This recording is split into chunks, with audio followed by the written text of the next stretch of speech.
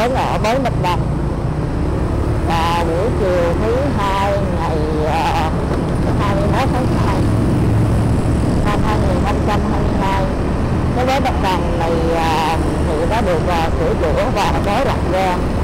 Trên trí uh, thì uh, nó cũng đặc biệt và đẹp nữa. À, buổi tối ở đây thì rất là náo nhiệt à, những cái uh, cặp đôi mà họ ra đằng kia thì thường sẽ người ra đây chơi ngắm cảnh ngắm sông.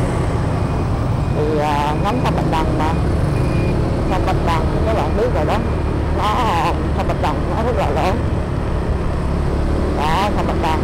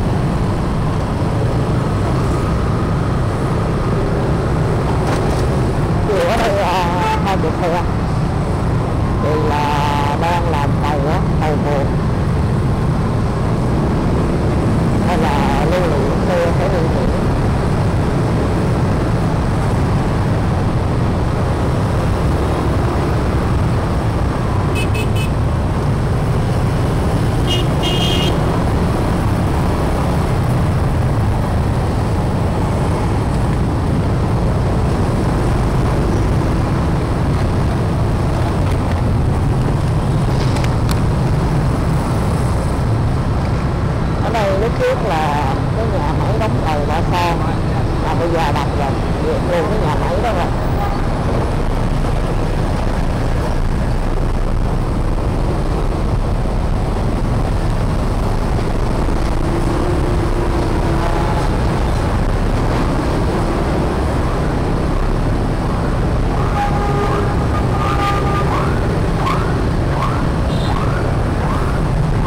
tàu vượt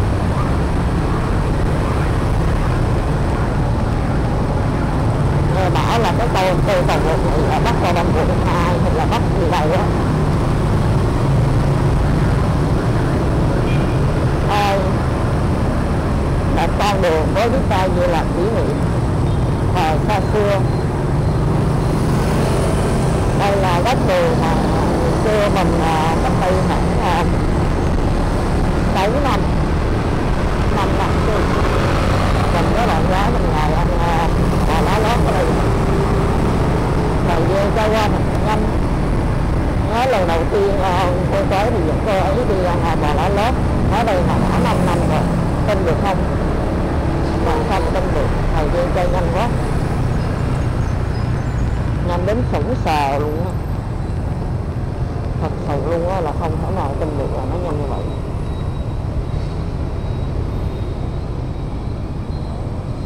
Còn quẹo bên bên tay trái. Sẽ là thảo cầm viên hay còn có tên gọi khác là sở thú. Mình bữa mình có đi và mình có review một ngày ở trong sở thú rồi đó. Nếu mà chơi xe thì các bạn có thể tìm xem. Đây là trên con đường Nguyễn Hữu Trọng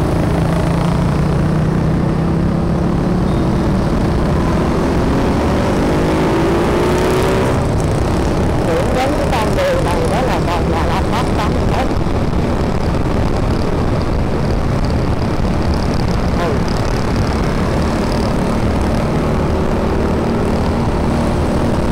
Giờ à, đường được phóng ra rồi nên à, rất là thông thoáng với lại à, phần à, lúc trước con đường thì à, nó ngập nhiều lắm nhưng mà bây giờ đã hơi nhiều do là đã nâng đường lên cải thiện cho cả hai phần con đường này nó sẽ ít ngập hơn tuy nhiên là à, vẫn có ngọt đó nhưng mà nó sẽ ít hơn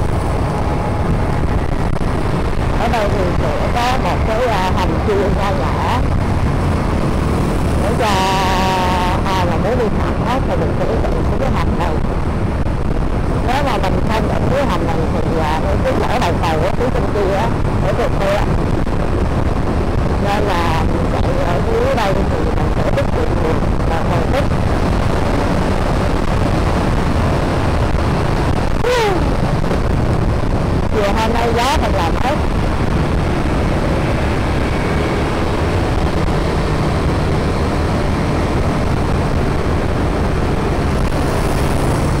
đó lắm không có giá hết đó làm mắt 81 của các bạn rồi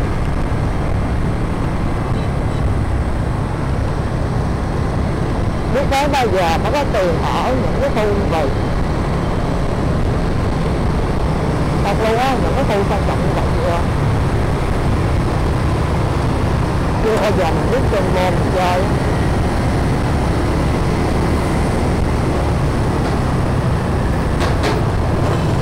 thì mình thấy uh, những cái nơi mà sang trọng không có thích hợp với mình. Mà mình chỉ thích uh, những cái nơi uh, địa địa uh, cái nơi đó lại phù hợp với mình nhiều hơn. Nên là mình thích đi ờ, những cái nơi đó hơn với lại mình còn uh, với lại đi có một mình uh, thân uh, cũng cũng thân nữa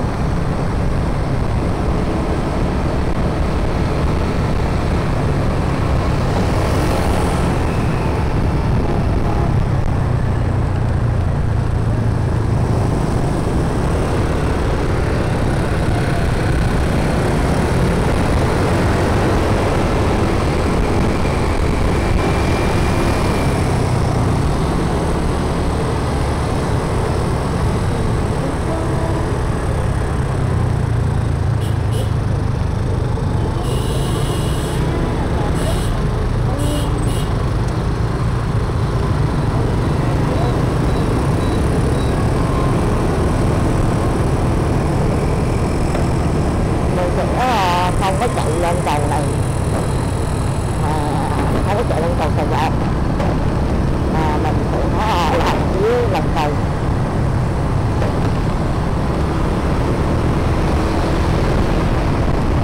đó chạy ở đây cái đường này lúc trước á, là ngập rất là sâu trường khoảng có bánh xe ba luôn và hiện tại thì ra xa thì chưa biết. Không suy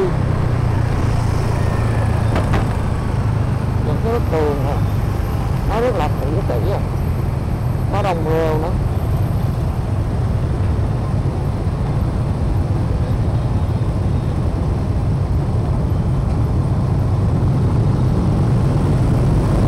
hiện đại những cái bức tường này chắc cũng phải vài chục năm thì thành đất đây thì là nó cũng chừng lắm rồi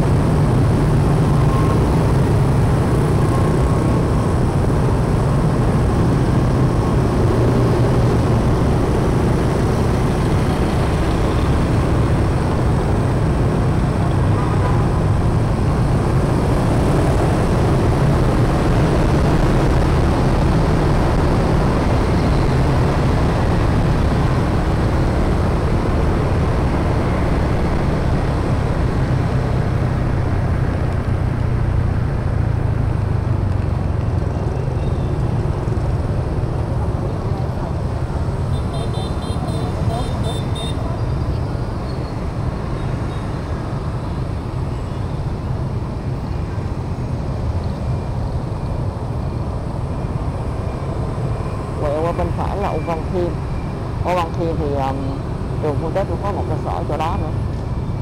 Nhưng mà mình đang đi tới cái trụ sở cái uh, cái trường chính cái trụ sở chính của trường Phương Tết để uh, mình đăng ký thi di tính với là uh, vài nữa vài chưa có tiền để đăng ký uh, hành văn nên là sẽ thi di tích trước ngày 3 tháng 3 mình thi rồi và hiện tại thì uh, mình cũng uh, cũng tạm tạm nói chung là vài vài ngày nữa thì sẽ đến chăm chỉ hơn thì uh, đánh tiền cũng mắc lắm có triệu bạc đâu. Là không có để rớt được. Phải cố gắng cố gắng và cố gắng đó à,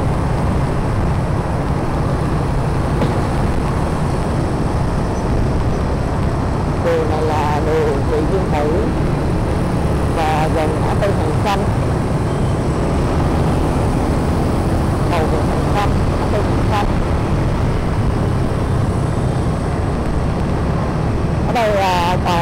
khu sân vận không ạ